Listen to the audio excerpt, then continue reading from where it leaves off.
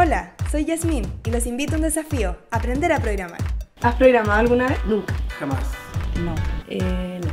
¿Quieres aprender a programar? Obvio que sí. ¿Sí? Obvio. Te voy a pasar un software para enseñar programación a niños. Ya, perfecto. Niños chicos como yo. Claro. y en esta parte tenemos que escribir el código. Ya. Muy entretenido. ¿Tiene que chocar con el cerdo? Claro. El juego de niños. Todos los jóvenes y todos los niños deberían tener la oportunidad de aprender a programar porque fomenta habilidades como la creatividad, la lógica, la resolución de problemas. Piensen en una persona que está programando una aplicación y cómo tiene que ponerse en el lugar de la persona que va a usar esa aplicación. Es un acto de empatía súper fuerte. En realidad que entretenido. Es bueno aprender esto, no importa la edad. Cualquiera puede aprender, hoy existen un montón de herramientas, por eso ustedes tienen que empezar a programar. Aprender a programar es ayudar a construir el mundo que nos rodea. Todo tiene que ver con las computadoras, o sea, la lógica del código. Te hace igual entender cómo, cómo funciona el mundo. Y por primera vez en la historia de la humanidad son los hijos los que están enseñando a sus padres.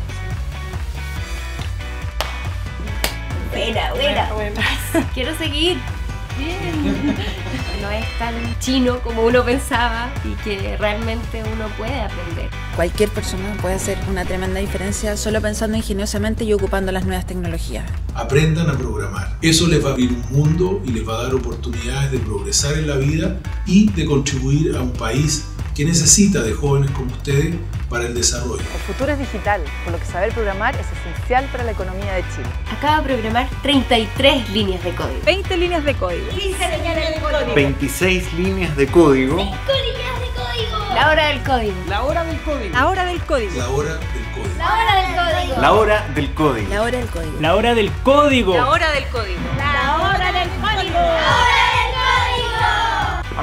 Programar tu computador puede ser fácil y entretenido. Para aprender, métete a www.horadelcódigo.cl.